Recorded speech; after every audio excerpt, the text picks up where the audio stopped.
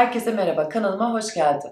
Meltem ile Yoga'da bugün tahta elementi, karaciğer ve safra kesesi meridyenleriyle ilgili olarak akupresör noktası paylaşacağım. Tahta elementi bahar mevsimi. Bahar mevsimi uyanış, canlanma, enerjilerin değişimi. Aynı zamanda bedeninde desteklenmeye ihtiyacı olduğu dönem. Çünkü karaciğer ve safra kesesi meridyenleriyle ilgili karaciğer bizim kanımızın depolanmasını sağlıyor. Ve o kanın filtre edilmesi, o filtre edilen ne aynı zamanda detoksifikasyon. Yani bütün bedenin o toksin detoks sistemi karaciğerle başlıyor. Karaciğer ve safra kesesi.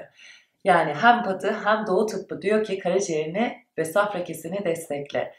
Ve bunun için karaciğer meridyeni 3 üzerinde bir çalışma yapacağız. Bunun sebebi stres yaratabiliyor. Çünkü gerçekleşmesini istediğimiz planlar, bunlar amaçlarımız için. Eğer amacımızı kaybedersek, zaten ayrı bir stres. Amacımız var, planlıyoruz ama bu planlar değişebiliyor, stres. Çünkü o stres bizi gerginleştirme, sıkıştırma haline getiriyor.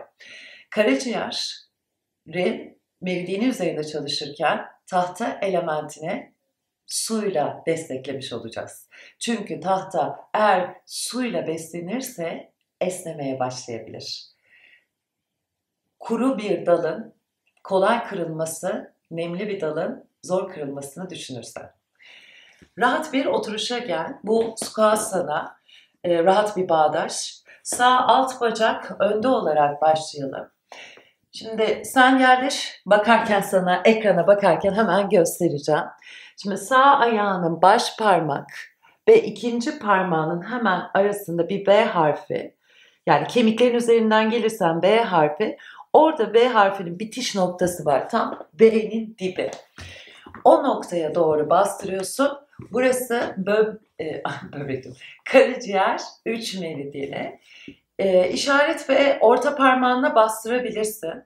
Ve bunu bastırırken dediğim gibi bir twist de yapacağız.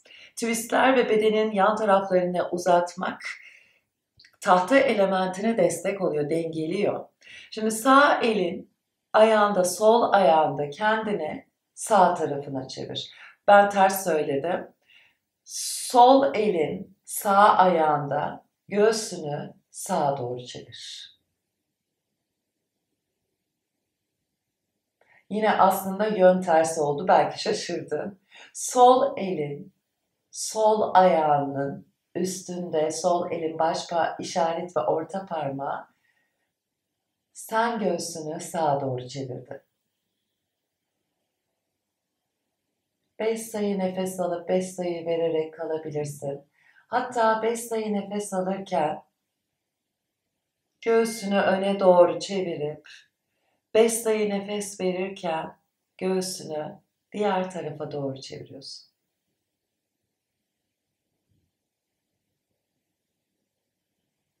Yani nefes aldığında başladığın yere, nefes verdiğinde biraz daha belki derinleşiyor çevrinde.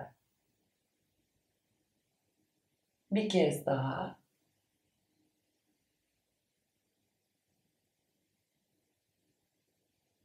Nefesi boşalttığında bacakları değiştir.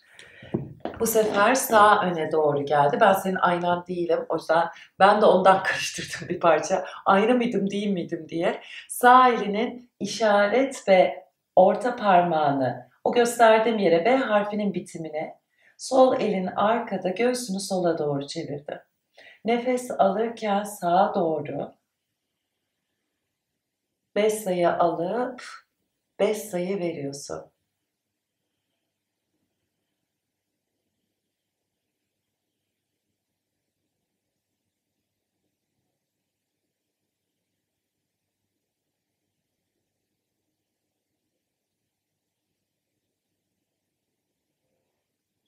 Ve öne doğru çevrildiğinde rahat bir oturuşa gel tekrar. Son bir şey daha göstermek istedim aslında.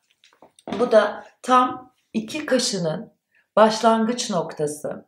Buraya baş parmaklarınla aşağıdan yukarıya doğru iterek beraber 30 saniye kalacağız.